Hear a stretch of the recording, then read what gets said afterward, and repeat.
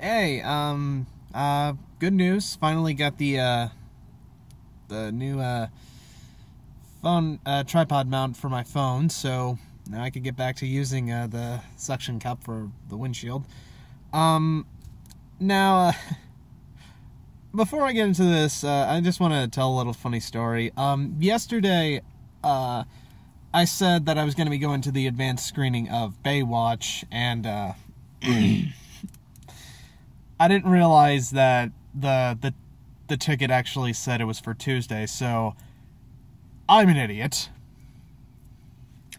Um, but I finally got around to it. I'll I'll go into more on that uh, a little bit later. But uh, right now, I just want to talk about uh, few other films I saw beforehand. Um, two of which were really good. Uh, another one, another one was just not not at all. And but let's get into some of the good stuff. Um, first film I want to talk about was one that I was gonna surprise you guys. Uh, it was Life. Um, and some of you have some of you have probably heard of the film. Uh, it's the uh, Alien uh, Parasite film uh, with uh, Jake Gyllenhaal and Ryan Reynolds. Um, I saw that like after I got into that mix up of uh, of um, mix up of Baywatch, I immediately bolted over to the discount theater to go see Life, which is where it's currently playing still. Um, but I wanted to go see that film because uh, I was listening to Double Toasted when after I saw Alien Covenant, and they were talking about how like the better Alien film that's come out this year was uh, Life.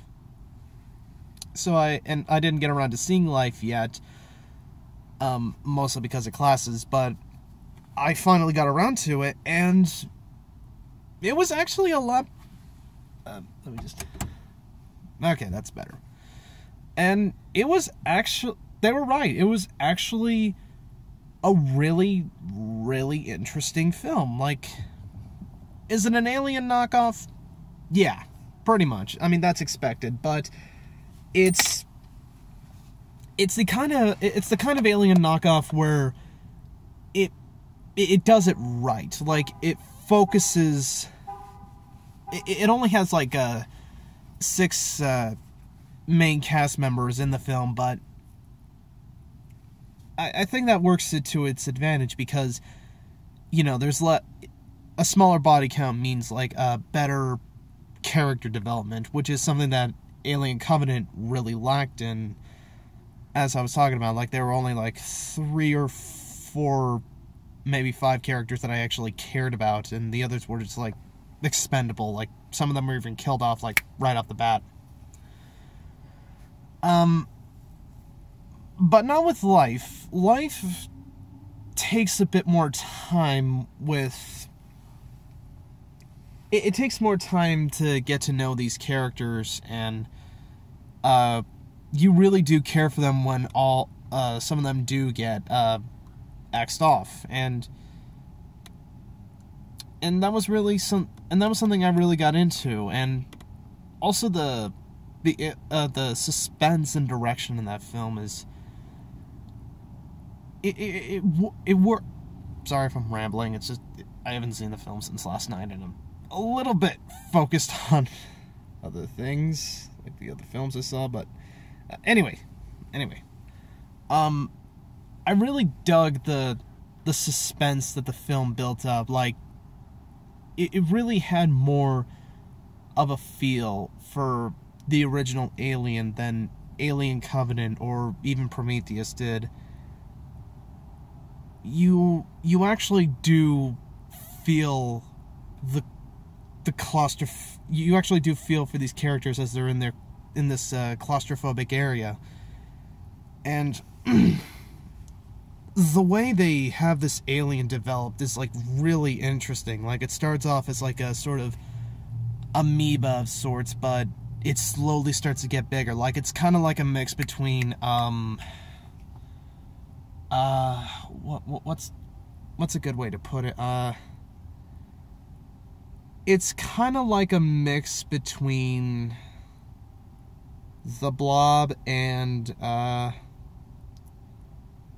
the the Muto from the 2014 Godzilla, or I guess in this case the Cloverfield monster in a way, but uh, to me it looked a little bit more like the Muto.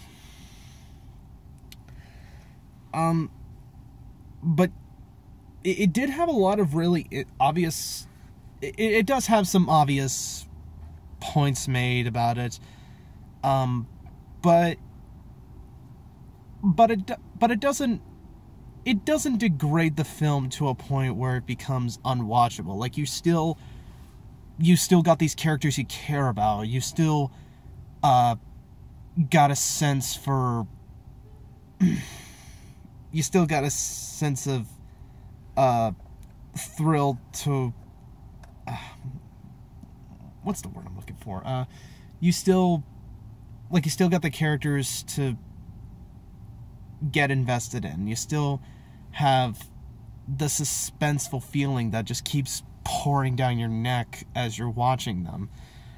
And uh, a lot of the there are a lot of creative uh, kills in the movie as well, and a lot of them actually did get me a lot. Uh, um, but yeah, it's like it's definitely one of the better alien knockoff films I've seen, and in all honesty, it's probably one of the better alien films in general. Um, but yeah, I, I, I, I actually found myself enjoying that movie. Um, even though I might have missed like the first five minutes because I was rushing, or, or because of I don't know, like uh, stoplights or something. I, I still thought that the rest of the film really did a damn good job. And if you can find a theater that's playing it still, uh, I recommend it. Or it'll be out on Blu-ray in like a month or two, so there's that to look forward to. All right. Um. Ah, what uh, what else was there? Um. Uh, the other good film that I liked was The Wall which if you don't know, it's that uh, it's the uh, Iraqi sol- uh, Iraq. It's the uh, it's the war film starring uh, Aaron Taylor Johnson and John Cena. God, that is hot. Um, but yeah, it's the uh, Iraq War film starring Aaron Taylor Johnson and John Cena um, it's mostly focusing on. It's mostly Aaron Taylor Johnson's film. Um, probably. I'm gonna say this right now. I think this is Aaron Taylor Johnson's attempt uh, attempt at trying to get an Oscar nod, because he is the main focus of the entire film, like all the way through. Like, like John Cena is in the film for like a supporting film, but it's just mostly focusing about this one soldier. He's all alone. He's injured. He's up. He's literally against a wall in the middle of the Iraqi desert, and he's got a sniper on on his tail. Uh, and most of most of the film is just uh, conversation pieces between Aaron Taylor Johnson and the sniper who uh, is able to communicate him through radio. Um, I don't know if it was based on a true story. Uh, it could be, and I, it, I probably just didn't see that part in the credits. Uh, but yeah, it's like it. It definitely is a. F- depending on your opinion of Aaron Taylor Johnson, will probably depend. Will probably uh give you a feel of if you're gonna like this movie or not because it is it is his it is his film. Like literally the other the sniper that's on him he you like don't see the guy. It's just johnson up against this wall listening to an earpiece so yeah. Um, though I also got to give credit to John Cena, who actually does a really damn good job in the film. Uh, like e- even if he's not there that much, he still he still does. You still care for the guy, like you, you do buy that. You do get into the friendship that these two share, and yeah, I was actually kind of impressed with that. Like, what is that guy doing? Uh, yeah, whatever. Um, but yeah, the the wall. Uh, depending on if you're interested, uh, I'd say it's worth a watch. Uh, I mean, it's it's definitely a short sit. Like I think it was only like 90 minutes long, so there's that. um, now to get into some of the bad. Uh, so, to kill time before my screening for Baywatch, the I saw the wall and the uh, but before I saw the wall, I saw Snatched, which with uh with uh, Amy Schumer and Goldie Hawn. Um, I, I will say this: I I like Amy Schumer. I, I think she's a good comedian, and you know, for me, most most one of the main reasons I wanted to see this film was because it's been a while since we've seen Goldie Hawn in like in like a big mainstream lead role. Like I don't even remember what the last role she had was. Um but yeah, so I wanted to give this a shot, thinking, okay, Amy Schumer, like her, she's pretty funny. I thought Trainwreck, I thought Trainwreck was great. Um, so yeah, I wanted to see what she could do with uh, this film. Uh, yeah, I I didn't like this. I, I didn't like Snatched. Um, for starters, uh, I think one of the it it's it's not the same. It's not the same kind of feel that tra- uh, uh, the f- same kind of feel of comedy that Trainwreck had. Uh, well, I mean, for one, it's a different scenario, whereas because Trainwreck was a romantic comedy and Snatched is a kidnapping uh, shenanigans film, I should, I suppose. Uh, shenanigans vacation film. I think that's what I'm looking for. Um, but yeah, uh, it's definitely a different feel. Plus, Schumer didn't write the script, so uh, and it was instead written by uh, Katie Dippold, who wrote, who, if you don't know, she co-wrote the script to Ghost to Ghostbusters 2016. Um, so that should give you a feel of what it's gonna be like, and all I gotta say is I I laughed like a couple times here and there, but for the most part, I just felt freaking miserable in that film. Like, oh my god, I. Like, Schumer and Hawn, bless their hearts, they're trying the best with this, but my god, do they have such shit to work with. Like, a lot of the time, it's either because Hawn is an overprotective, like, just so overprotective and motherly that it just gets annoying. Or there, it's going to be a situation where Schumer is just a drunk bitch. Like, I mean, I know a lot of people say that's pretty much her archetype with uh, Trainwreck and so forth, but at the very, yeah, it is that way, but at least, at least the kind of stuff that her persona in that film had was at least some good material. With with this film, it's not the same case because it's pretty much that archetype that Schumer played in Trainwreck, only much more unlikable. Like, oh my god, this this is just uh, like almost all the characters in this film I ended up just really not liking at all. The worst of them being uh I forget the guy's name, but uh Ike something. Uh uh if you, you'll know who I'm talking about. It's the guy who played uh Melissa McCarthy's love interest in Tammy and uh Amy Poehler's love interest in Sisters, I believe. Yeah, Sisters.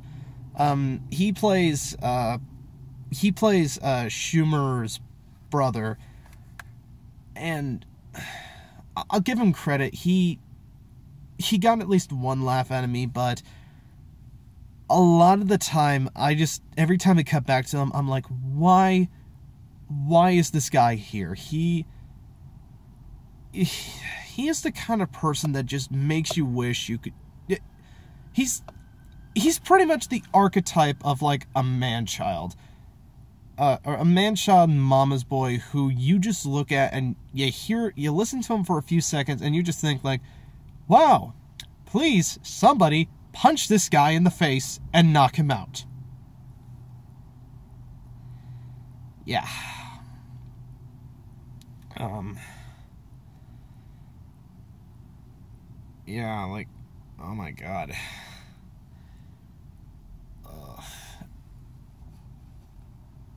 Uh, and there, and there are a lot of like and it isn't just with him a lot of the men like a lot of people one of the th- one of the main complaints that people had with the uh, 2016 ghostbusters was how uh, dippold made all of the male characters seem like either three things idiots douchebags or creeps. It's done worse in Snatched. Like, no, it, it it's pretty much all the characters in this film are just made to offend just about everybody. Like, like I don't even know where to. I don't even know where to continue with this one. Like. Oh, fuck.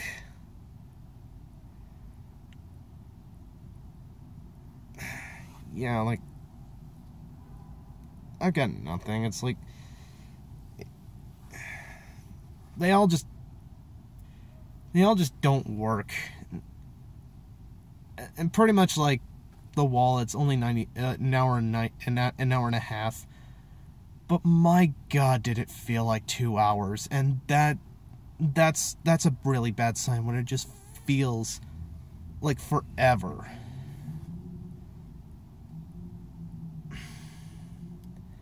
Um, and and Wanda Sykes and uh, I believe it was Joan Cusack. Like they they they appear in the film in supporting roles. They're just as bad as they're they're just annoying. Like there's like a running gag where it's like uh, Joan Cusack is like this uh, torture expert who cut out her tongue so she's mute throughout the entire film. Uh, but there are other points where she's like gonna. Like the one thing that they were gonna get to in a scene was where she's gonna improvise with like torturing this one guy that the the guy responsible for uh, getting uh, Schumer and Hawn into this situation, but um, he ends up confessing before she uh, before Cusack even starts to begin the torture session and it just kills the mood like okay if you're not if you're gonna have all this build up have a good payoff but if you're just gonna if you're just if you're just gonna cut away from it like that just so like there's like not as much violence it's like dude screw you it's like if you're gonna have this build up, go all out with it. Don't don't pussy out at the last minute. Yeah, like for for a big return for a big mainstream film like this, uh, Goldie Hawn deserved better. Like everybody in this film deserved better. Like yeah, I I don't fucking recommend that one. Although, to be fair, it's not as bad as Baywatch. yeah, um, Baywatch sucked. Sucked really bad. Um, yeah, where where to begin? Um, none of the jokes are funny. For starters, like, or no, wait, hold on. Let me just backtrack a bit. Um, I I've never seen an episode of the show Baywatch. Um, the only thing I know about is that it's known for having lifeguard uh, uh, lifeguards played by David Hasselhoff and Pam Anderson running in slow mo and saving other pe- uh, people, uh, being like a soap opera, I guess. Like, I don't know. I never really cared. I was more busy with uh, other show uh, with cartoons at that time. Um, yeah. Um, and, and for the record, uh, Hasselhoff and Anderson do cameo in this film, but it's done to a point where I just don't give a shit. Like, it's pretty much the same situation with Chips. Although, to be fair, Chips at least got a few laughs out of me.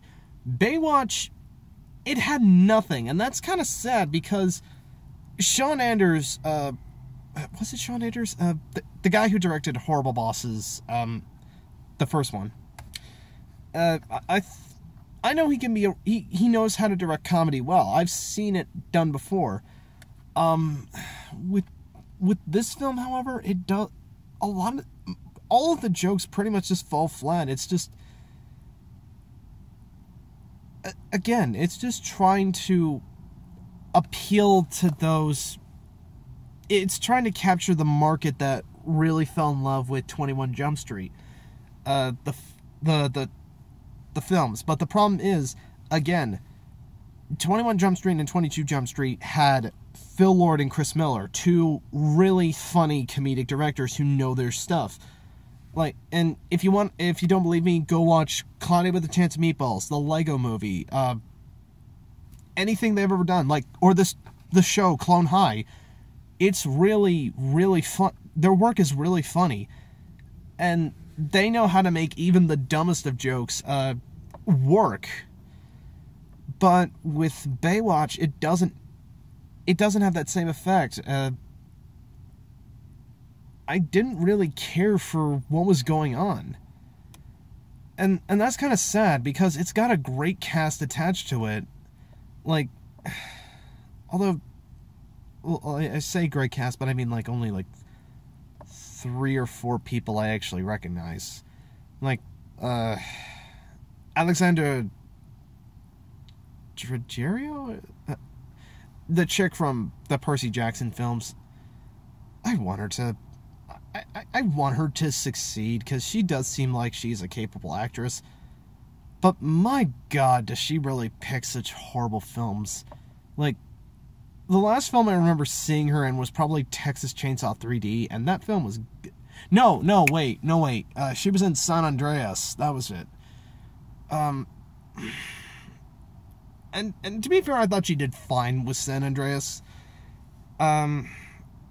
But other than that, she's she's just kind of a blank slate actress.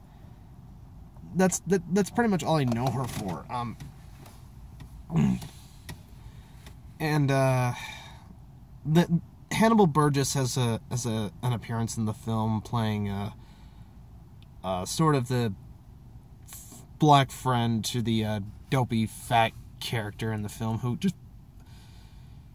that that character just that character was irritating because like we know it's the trope of the fat kid going to get the hero, or going to get get get one of the main, going to get the hot girl. But my god, dude, the, the jokes they do with this guy are fucking insufferable. Uh, but then again, everybody else in this film is insufferable. Like uh, the love interest for the fat kid is just is just there. It's I guess she's supposed to be playing Pam Anderson's character from the show, although I wouldn't fucking know. Um, Dwayne Johnson is obviously David Hasselhoff's character, and Dwayne Johnson can be a really charming guy, and he has shown that both in his film, a lot of other films, and especially in real life. But my here it's it looks like he's trying to find a balance between the charming dude, uh, the charming guy, and the yeah, sorry, uh, between the charming guy and douchebag, or charming leader, I should say. I don't, I don't know, but I don't know. I just didn't really like his character, although it's nothing compared to Zac Efron in this film, who okay, look, Zac Efron can Zac Efron can be a great comedic actor. Like I've seen it before in like last year. It's like Mike and Dave need wedding dates, the Neighbors movies. Uh, what else was there? Uh, freaking even Dirty Grandpa. I'll admit I liked.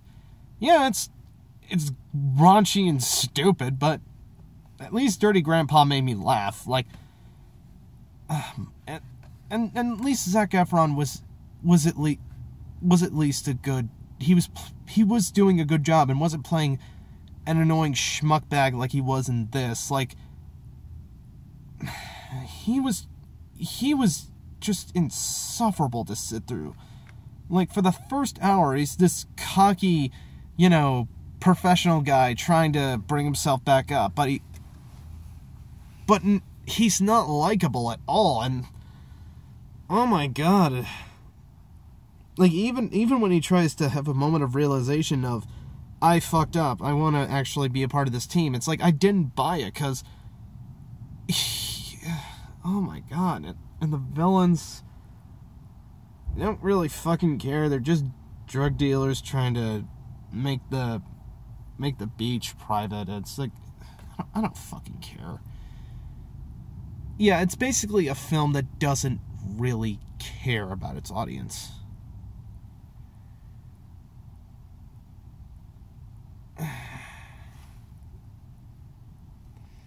I don't. Don't even know what to say anymore. I recommend Life. Recommend The Wall. Um, the movie, uh, The Wall.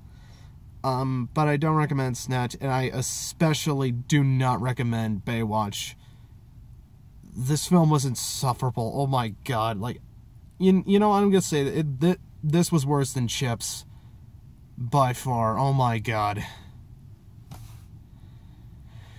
I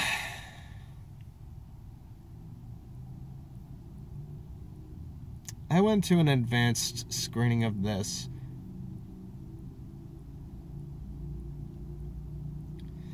Uh, yeah, it, it, it's not worth it. Don't go see. Don't go see Baywatch. Go go go see something else. Like I think Pirates is coming out this week, so uh yeah, go go see Pirates. It's going to do better than Baywatch by far, but or or if you do want to see a film with The Rock again, Fate of the Furious is still out. Um or if anything, if you want to rent a Zac Efron comedy that's actually good, go go see some of the other films I recommended, like uh, Dirty Grandpa or Mike and Dave or Na- or any of the Neighbors movies. They're much better than what I saw.